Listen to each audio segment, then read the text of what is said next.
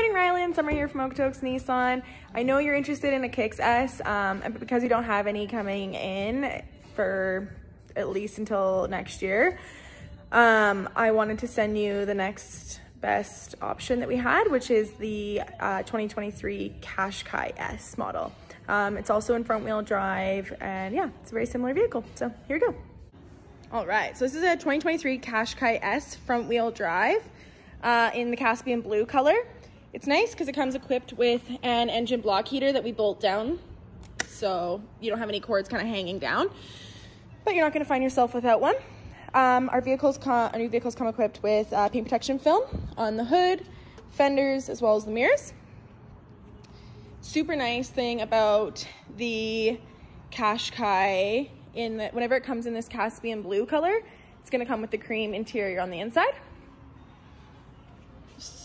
Check out the trunk space here. And that's your block heater cord there. Comes with a privacy cover on the trunk. Then room for three in the back. There's that cream interior I was talking about. Hopping into the front, into the fun stuff, you're gonna have uh, power locks and windows. Nissan safety, uh, 360 here, traction control, eco mode, sport mode, and then on the steering wheel controls here, you'll have audio as well as Bluetooth and your cruise control. Nice gauge cluster, easy to read.